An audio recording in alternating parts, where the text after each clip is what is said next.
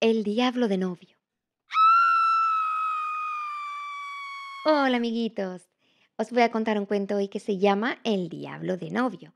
Es un cuento de hadas español del tomo que pertenece Cuentos al amor de la lumbre. Un conde tenía una hija muy guapa, ya en edad de casarse, pero la niña era muy caprichosa y todos los novios les ponía faltas.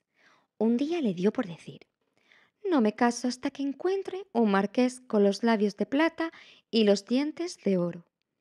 El diablo que se enteró se dijo, Pues esta es la mía. Me disfrazo de marqués y me caso con ella. Y así lo hizo.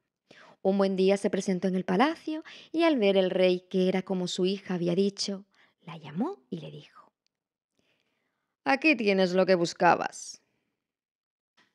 Y ella dijo, Nunca pensé encontrarlo, pero aquí está mi mano. Y concertaron la boda para el siguiente día. Tenía la niña una golondrina que le advertía. Si piensas que es un marqués, no te cases, que diablo es. Pero ella no le hacía caso. La golondrina se lo cantaba una y otra vez. Y por fin la niña contestó. Es que crees que no te voy a llevar al palacio de mi marido. Pues sí te voy a llevar. Anda, déjame ya tranquila. Llegó el día de la boda y se presentó el diablo en un trineo por los aires, vestido de etiqueta, con unos labios de plata y sus dientes de oro, acompañado de unos cuantos diablos y diablesas disfrazados también, de gente importante. Y después de la ceremonia, se fueron en el trineo por los aires, aunque la niña se le había olvidado la promesa que le hizo la golondrina. Esta echó a volar también y se fue detrás de aquella comitiva. ¿Por dónde me llevas? le preguntaba la condesita a su marido. Estos me parecen unos caminos muy raros. No te apures, mujer, que ya verás mi palacio. En cuanto llegaron al palacio, el diablo encerró a la niña en una habitación que estaba encima de una caldera de pez hirviendo, y decía al diablo con grandes risotadas. Hija del conde, que encima de la caldera estás, si no es a la una ni a las dos, a las tres caerás. Y daba grandes trompazos contra el techo para que se hundiera y se cayera en el caldero.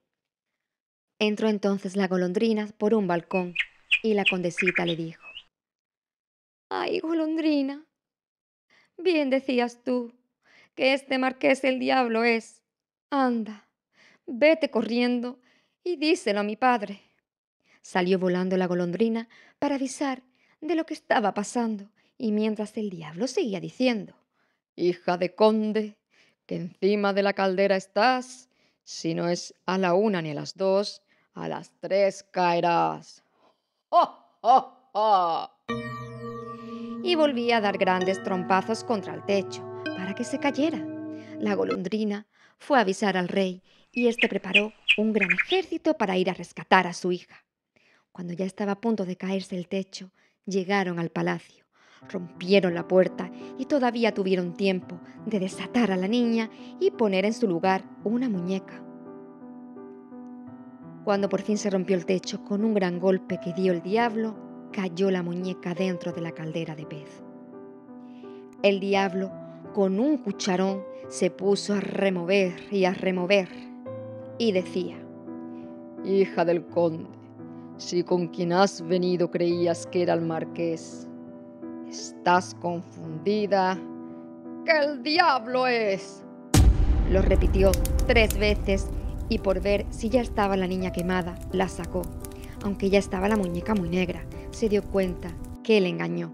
Se montó otra vez en su trineo con unos cuantos diablos y salió volando hacia el palacio del conde. Pero allí, como ya estaban bien preparado el ejército, le presentaron batalla y lo vencieron, teniéndose que volver otra vez al infierno, con el rabo entre las piernas. Goodbye. Y colorín colorado, este cuento ya se ha acabado.